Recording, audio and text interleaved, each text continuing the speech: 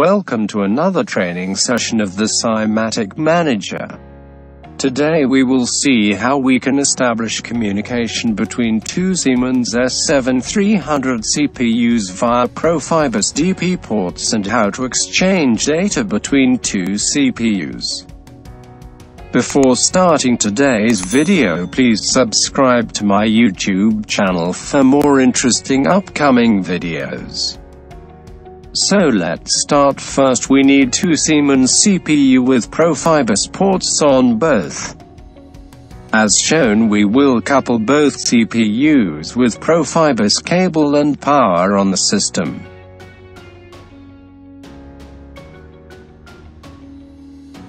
Now let's go the Simatic Manager and quickly make a new project. We will add two Simatic 300 stations and can rename them as master and slave stations.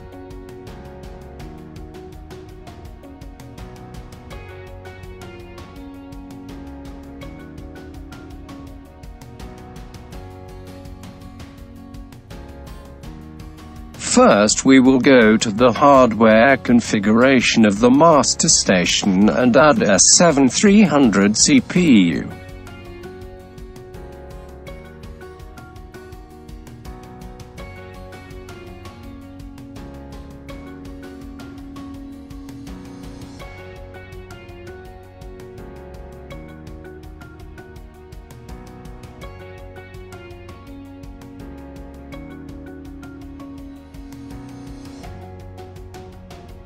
We can change the address of the inputs and output.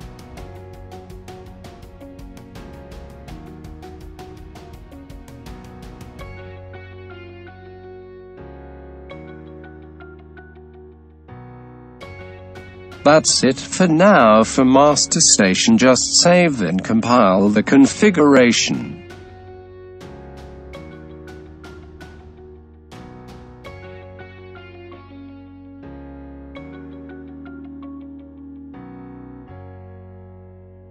Similar way we will add a slave CPU.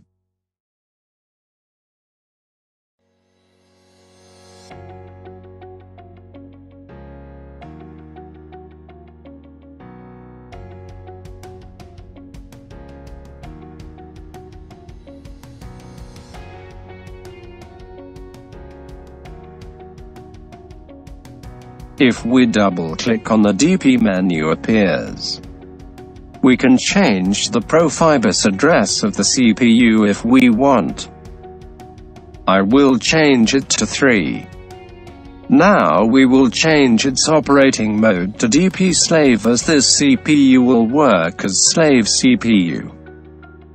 In configuration we will add input and output addresses for the registers of the slave CPU. First we will set the input memory address. I will set it 1 you can change it as per your requirements. We can change the length of the memory byte. We can also change the unit of memory as byte or word again it depends how much length of data you want to exchange. Now we will set the output byte address. I will set it to and click OK.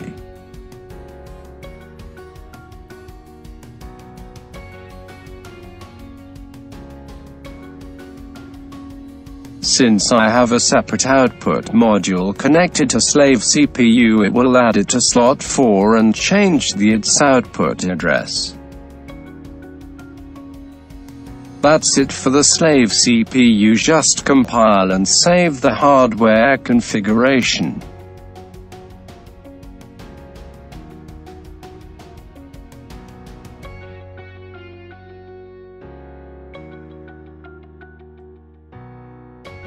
Now again we will go to the master station and DP master system for the master CPU and keep its Profibus address too.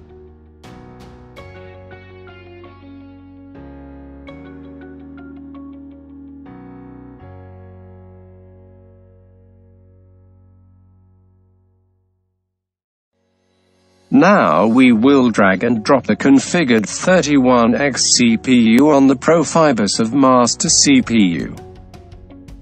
If we use S400 CPU then we will add CPU 41X.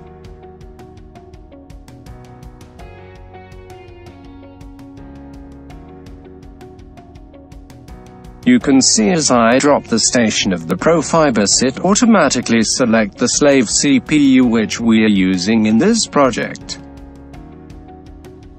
Now we will connect this to the slave CPU. In the configuration menu you can see the I.O. memory address of the slave CPU we have to add partner memory addresses which are the addresses of the master CPU.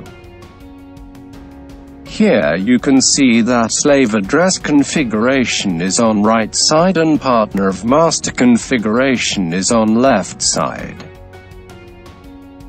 One important thing to understand is that input of the master CPU is output of the slave CPU and output of the master CPU is the input of the slave CPU. Means whatever data we will write in the output address of the master CPU will goes to the input address of the slave CPU via Profibus. Now we will add output memory address of the master CPU I will change it to 3. Similar way we can set input memory address of the master CPU.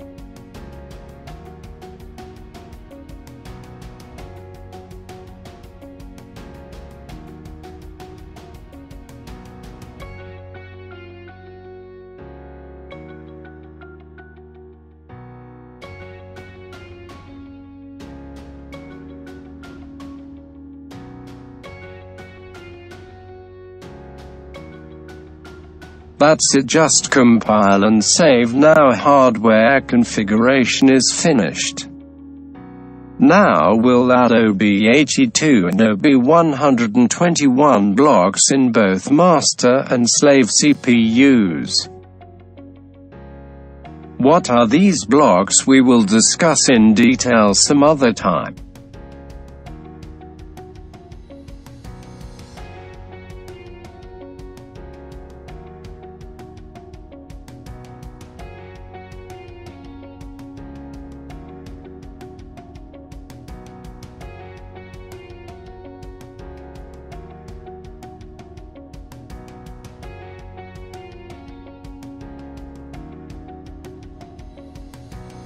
Now we'll go to the OB1 of the master CPU and use two move instructions to move data in and out of the CPU.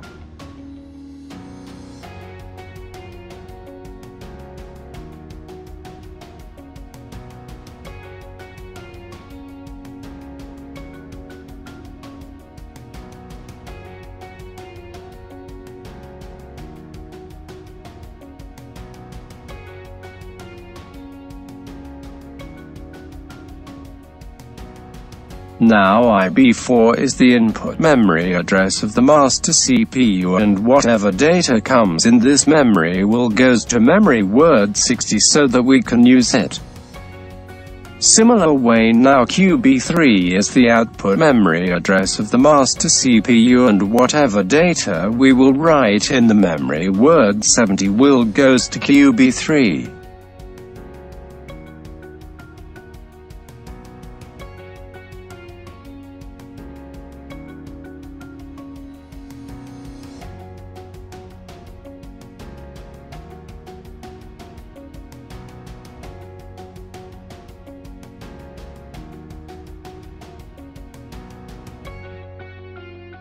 Now we'll go to the OB1 of the slave CPU and use two move instructions to move data in and out of the CPU.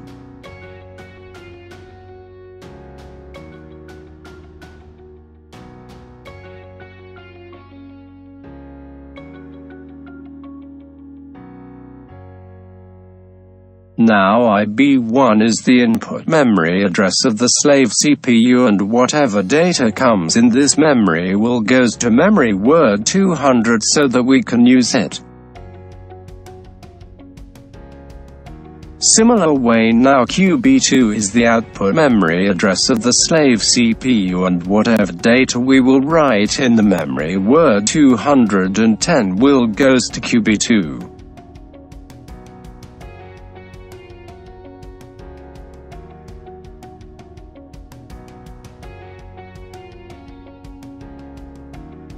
Now we will download the projects in the master and slave CPUs.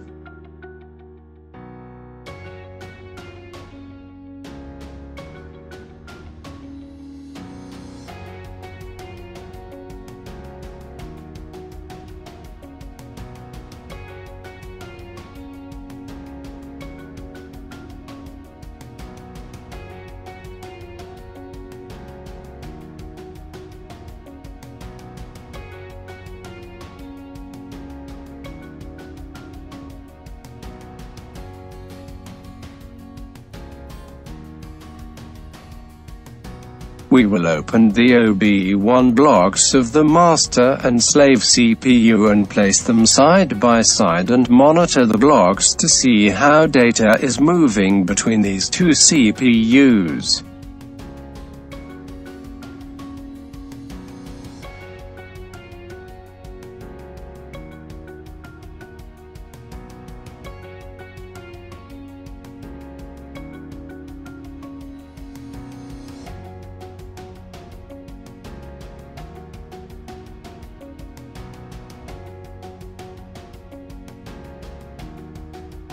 We will open the OB1 blocks of the master and slave CPU and place them side by side and monitor the blocks to see how data is moving between these two CPUs.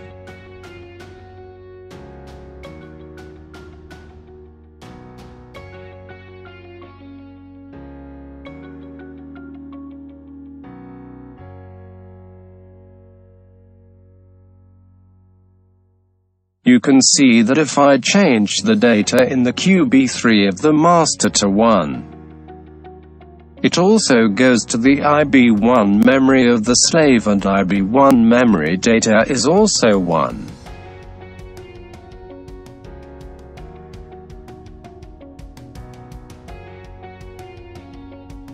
Now if I change master CPU output memory to the 2 it also changes in the slave CPU input memory.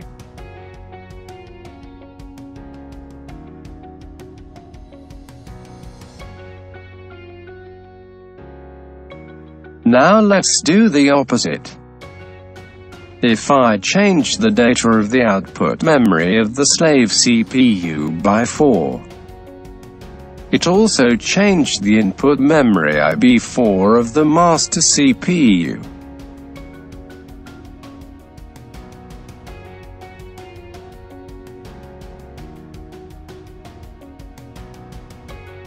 So this how data bits are moving to and from master and slave CPUs. Now let's make this session interesting by modifying its program a little.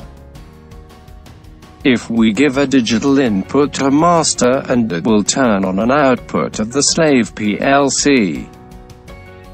To make this happen we have to do some changes in the ladder logic. Let's start with master PLC.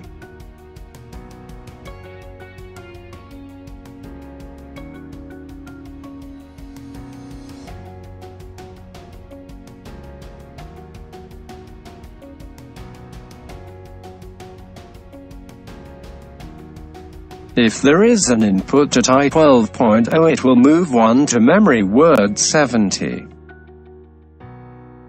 Now as per logic this one will also move to output memory register QB3 of master PLC and via Profibus communication it will goes to IB1 input memory register of the slave PLC.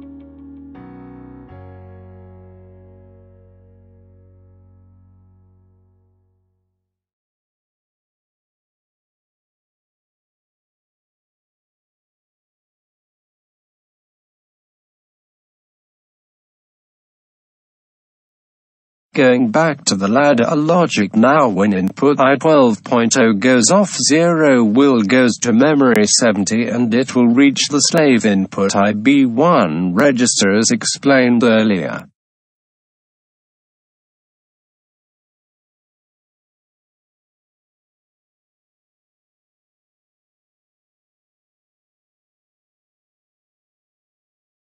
Now we will go to the slave organization block 1 and make comparison logic so that if MW200 which is input memory of the slave CPU is 1 will turn on the output and if it is 0 will turn off the output.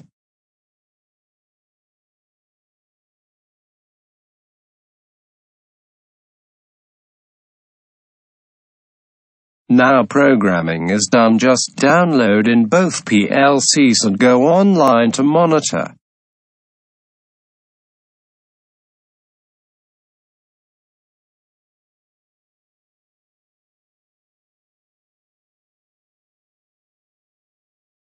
As you can see that if I give digital input signal to master PLC at I12.0 input it will get written in output register in the master PLC and from there it goes to the input register of the slave PLC and by comparison logic it is turning on the output of the PLC. That's today's session.